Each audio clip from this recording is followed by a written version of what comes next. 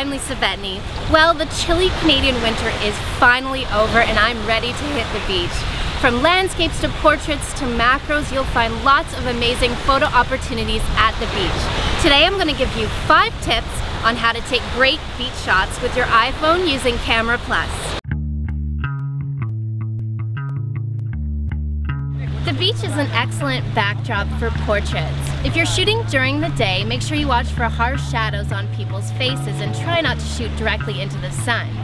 I like to add retro effects like hipster, 70s, or lo-fi, and an instant frame to make my images more fun. Beach landscapes are breathtaking, but one of the most photographed nature scenes. To keep your photos from looking cliche, don't your horizon line right in the center of your frame. Instead, place it off-center in the lower or upper third of the image. Also try different extremes and angles.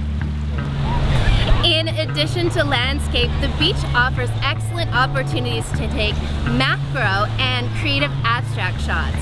Look for sandy footprints, shells, and interesting shapes along the shoreline. Summer silhouetted shots are always spectacular. To add an extra dimension to your sunset shots, add a subject or object between you and the sun.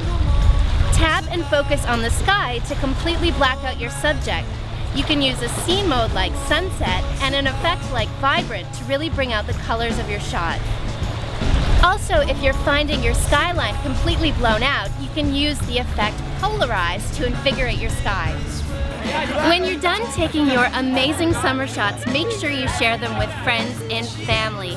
Remember, you can select multiple photos and share them on Twitter, Flickr, and Facebook with just a few taps. I look forward to seeing your shots. Camera Plus is now available in the app.